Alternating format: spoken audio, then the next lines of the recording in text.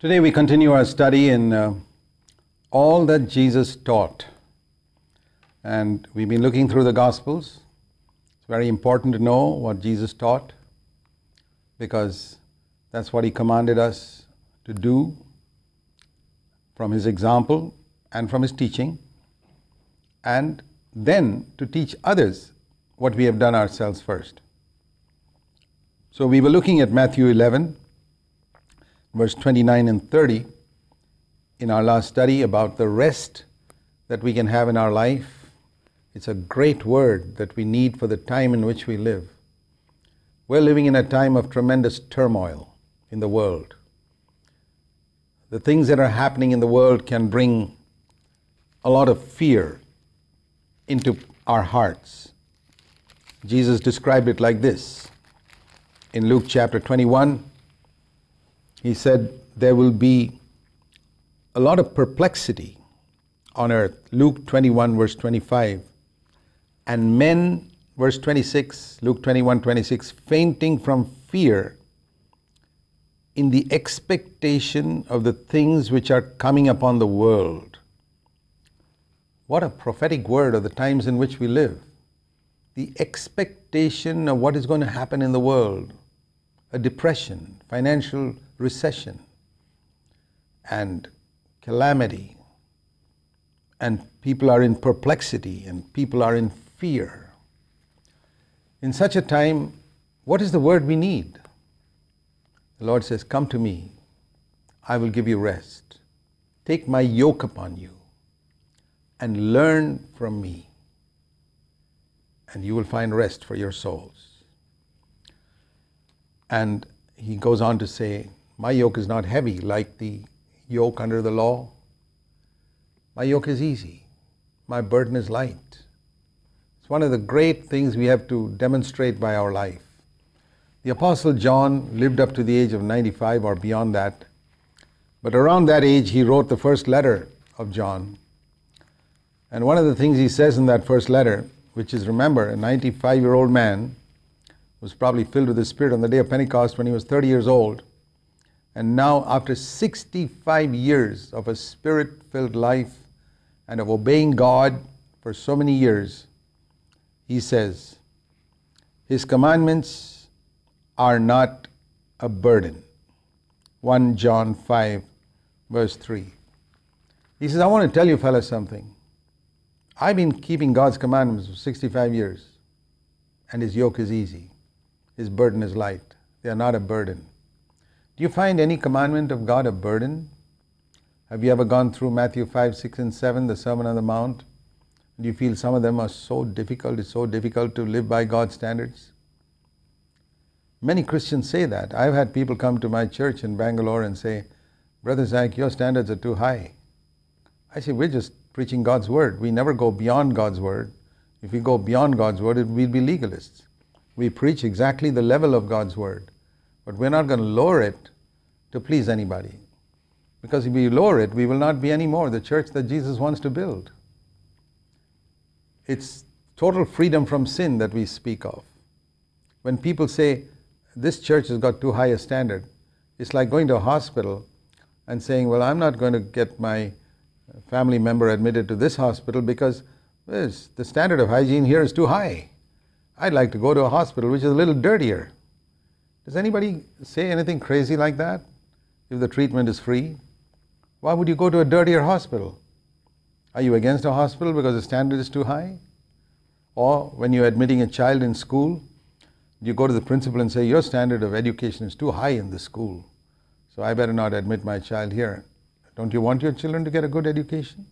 Or do you say, Your standard of discipline is too high, I like my child to be a little indisciplined? Is that how you select a school?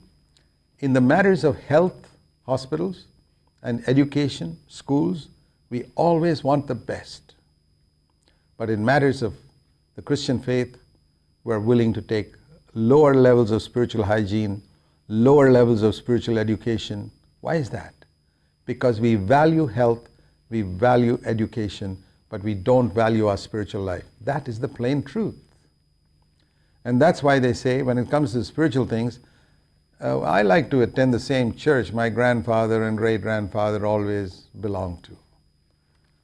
Really? Would you like to go to the same school that your great grandfather attended? Would you put your child in the same hospital that your great grandmother was admitted to when she was sick? Why do you go to a better hospital today? Why do you go, go to a better school today?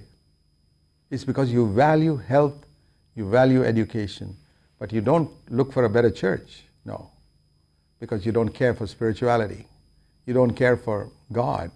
I mean, that's the plain truth. Somebody has probably not told you the plain truth to your face, but you can hear it today. And we seek to specialize in speaking the whole truth, which is in God's Word. God's commands are not a burden. Every single command of Jesus Christ we're supposed to obey. One of the prayers I prayed in my own life is Lord, before I end my life and leave this earth, I want to obey every single commandment that you have given for Christians to obey. Not the ones you gave Israel, like killing lambs and paying tithes and all that, but everything you gave Christians to obey, to give cheerfully, and to make inner sacrifices, and to hide our sacrifice from men, etc. Every command that you gave to Christians, I want to obey. Never to lust with my eyes, and uh, never to tell lies, and never to be angry. I want to obey everything before I leave this earth. I don't want to leave this earth with all those commands unfulfilled in my life. I want to encourage you to pray that little prayer. And I've also prayed, Lord, I want to claim every promise you have given for Christians on earth. Like if you, some, if you get 10 checks in the mail one day, you don't go and cash five of them in the bank. You deposit all 10 of them in the bank. Why do you deposit all 10? There are many promises in Scripture. They are like checks. I want to encash all of them before I leave this earth. They're meant for me. Two prayers I would recommend that you pray. Lord, help me to obey every commandment in the Bible before I leave this earth.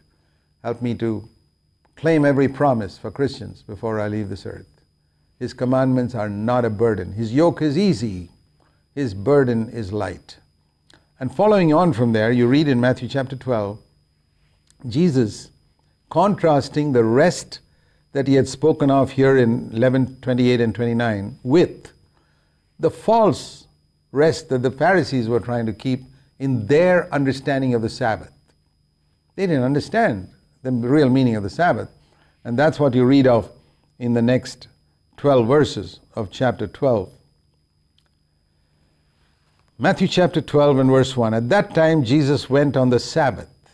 There are two incidents spoken of here one in verses 1 to 7, and the other in verses 8 onwards uh, both are incidents that took place on a Sabbath day.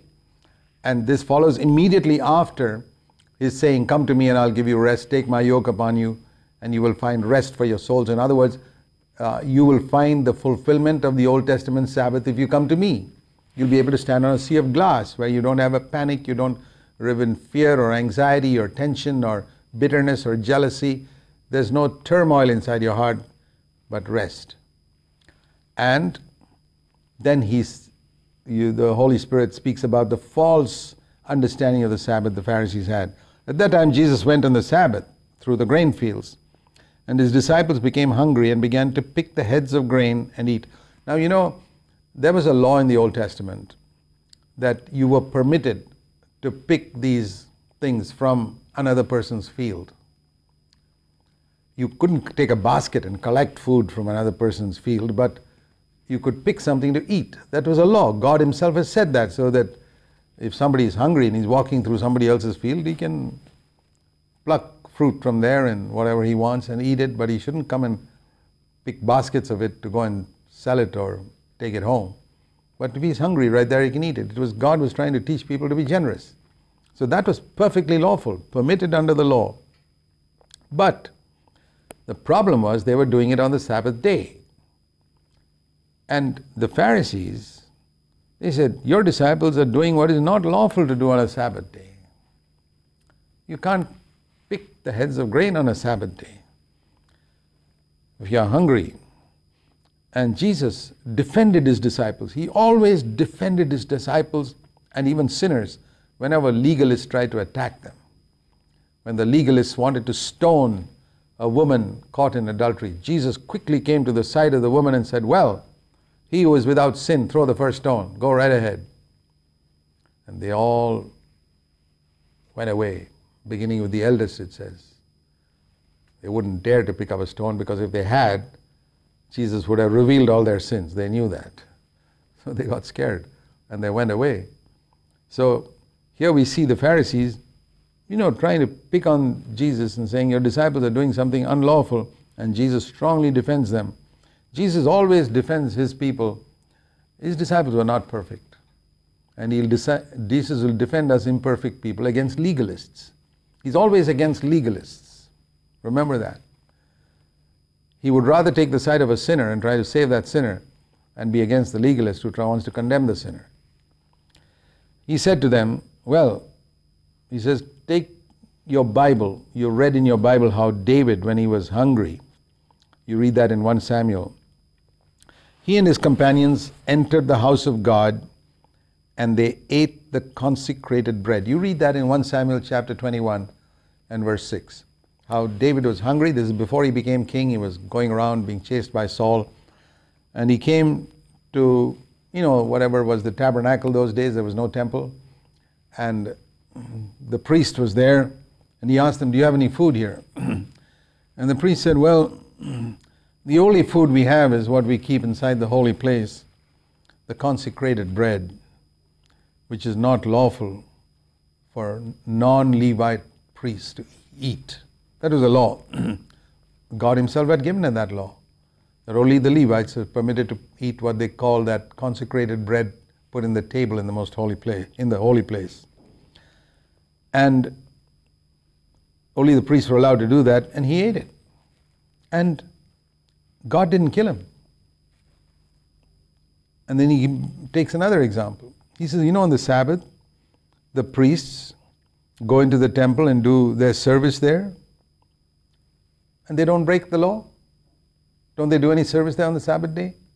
So he, he takes these examples from the Old Testament and he says, Listen, you fellas, something greater than the temple is here. It's me, the Son of God. So if they could do that in an Old Testament temple without violating the Sabbath, then there's nothing wrong with my disciples doing that. God did not make man after he made the Sabbath. It's not that he made the Sabbath on the sixth day, man on the seventh day. Hey, we made a law. Now we got to make man somebody to obey that law. It wasn't like that. It was man who was made on the sixth day, and the Sabbath was made subsequently for to bless man. It was a day of rest to, for him to fellowship with God. And the, uh, the Pharisees had made that into a rigid commandment that brought bondage to people. And so Jesus speaks to them.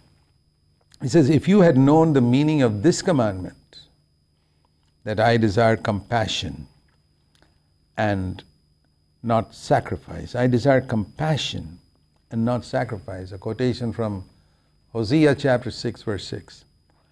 You would not have condemned the innocent. See, this desire to condemn innocent people is there among a lot of Christians today. They look at someone judge him and condemn him. One of the most disobeyed commandments that Christians disobey today is this commandment in John chapter 7 and verse 24. Jesus said, Do not judge according to the appearance or the outward appearance, but judge with righteous judgment. He didn't say you can't judge.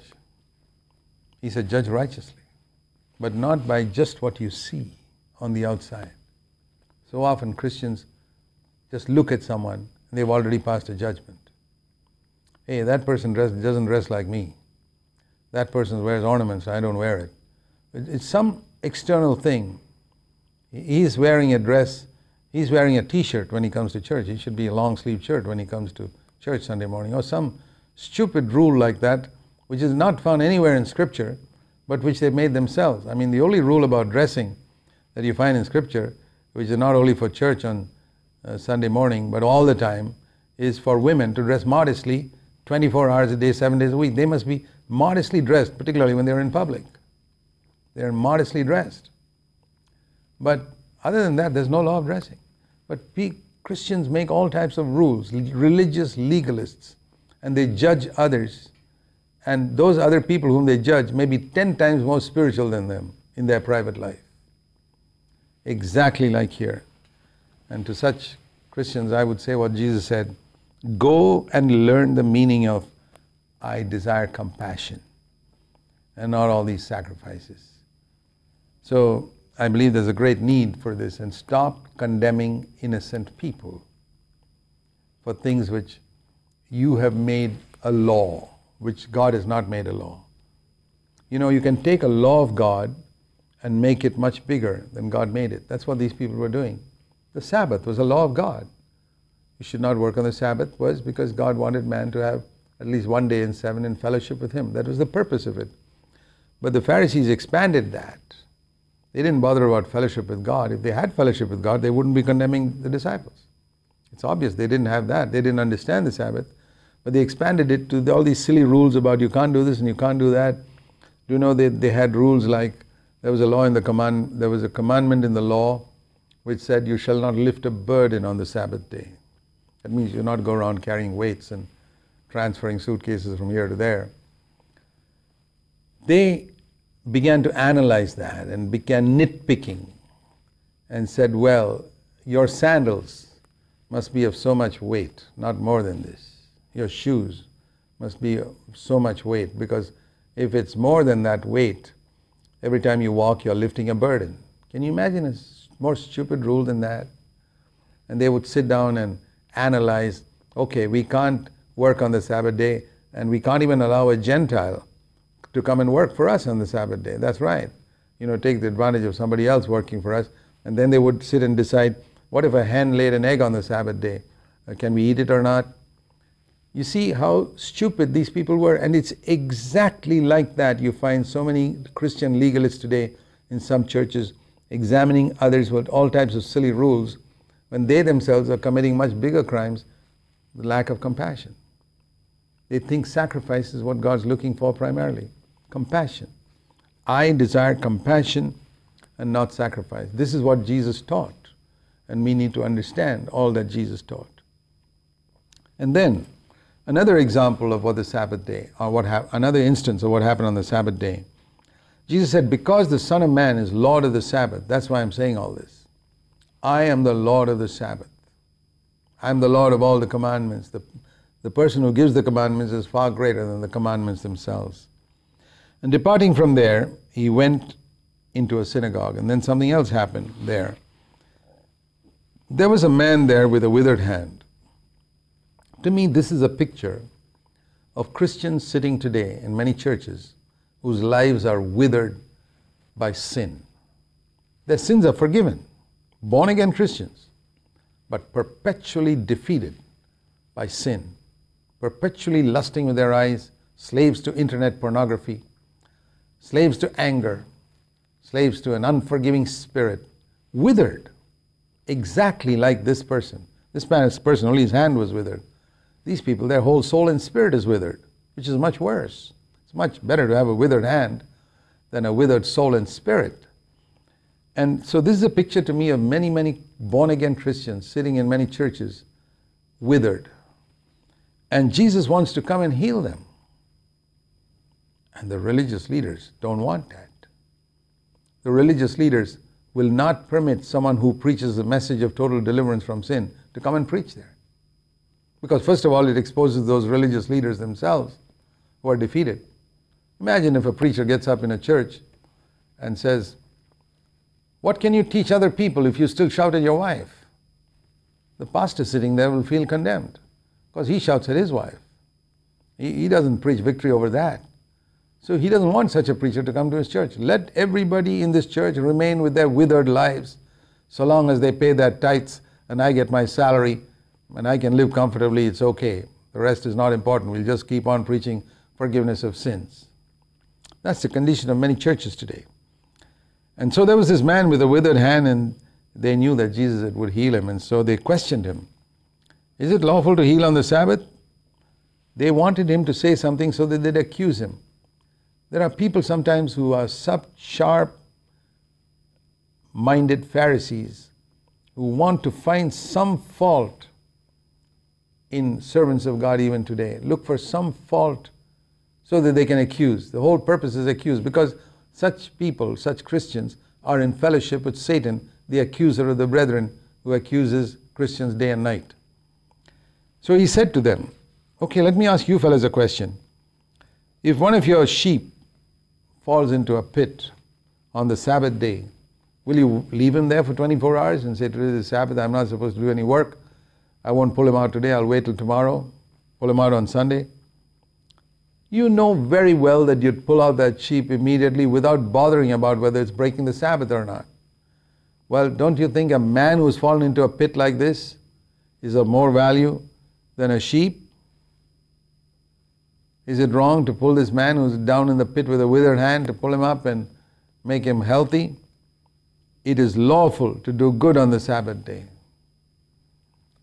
So, you see, we may not have a problem with the Sabbath because most of us have got nothing to do with it. But we can be nitpicking about other laws which we have made stricter than God made them. And we condemn people when they don't obey them. It's very easy to do that. I'm not encouraging disobedience to small laws because Jesus said there are small laws. He said, if you keep the least of these commandments, you will be called great in the kingdom of heaven. That is in Matthew chapter 5 and verse 19. But if you cancel even the least of these commandments, you'll be called least. You won't go to hell, but you'll be called least in the kingdom. So there are commandments which are least and there are commandments which are great. Jesus himself makes it clear. But if you ignore even the least, you lose your position in heaven. So I'm not encouraging disobedience to a small commandment. I'm saying don't make that commandment broader and stricter than God's made it. Leave it there, leave it where it is. I'll give you an example. There is a commandment in 1 Corinthians 11 that when a woman prays or prophesies, she should veil her head. That's a very clear commandment, and the meaning for it and the explanation for it is also given there. It's a symbol of her submission to her husband or to man's authority in the church, etc. But people can expand that and say, hey, she should wear it all the time, even when they're not praying or prophesying. That's ridiculous. Those are the Pharisees of today. I've met people like that. And they ask me, Does your wife veil her head 24 hours? I say, No. She does it when she prays or prophesies. She does it in a church service. When she sings praise to God, she veils her head. They say, But the Bible says we should pray always. You see how you can take another verse. And I say, What do you do? Do you veil your head when you're asleep or in bed? One person said, Yes, I even my wife does even even then. I said, Amazing. I said, Let me ask another question. Does she veil her head when she's having a shower or bathing? Shouldn't she be praying then if you have to pray always? No reply to that question. See, this is how, like Jesus silenced people, I've had the opportunity to silence these legalists as well. So we have to be very careful that we don't stretch God's commandment beyond what God says. That's what we can learn from this passage. What Jesus said we must teach and preach completely. The important commandments, what we think are the least commandments, but we're not to make them bigger and stricter than God made it. And so he told the man, Stretch out your hand. And the man stretched it out, and he was restored. And imagine if you saw a man with a withered hand healed, you should be excited, you should be shouting, Hallelujah. And everybody there should have been excited, but the Pharisees went out and they counseled together against him how they might destroy him. What a word! Because he had helped a man with a withered hand, they wanted to destroy him. Don't you think they were inspired by the devil himself? Great Bible scholars can be inspired by the devil when they want to hurt others. Today, they wanted to kill him physically. Today, a lot of great Bible scholars kill other servants of God with their tongue. The tongue is the weapon they use, not daggers and spears. With the tongue, with their articles, they hit out against people who are proclaiming total freedom from sin, healing from the withered hand, healing from a withered life. And Jesus, aware of all this, went away from there. Jesus didn't hang around trying to prove that he was a brave person. The Bible says, Jesus said that when they persecute you in one city, go to another. Don't try to show your bravery there. If somebody wants to kill you, don't go there. He withdrew from there and went somewhere else because he knew what their intentions were. You know, there's a great verse in John chapter 7 which says that when Jesus knew that the people in Judea wanted to kill him, he did not go there. Why should he go there? He didn't walk in Judea because John 7, verse 1. But later on, in the same chapter, when his father told him to go, he went. So we don't take unnecessary risks. That's what we learned from Christ's life. But we are willing to go if the Lord tells us to go to any place on earth. He will protect us. But we don't take unnecessary risks to show how brave we are or to show our faith. We'll continue our study in the next episode.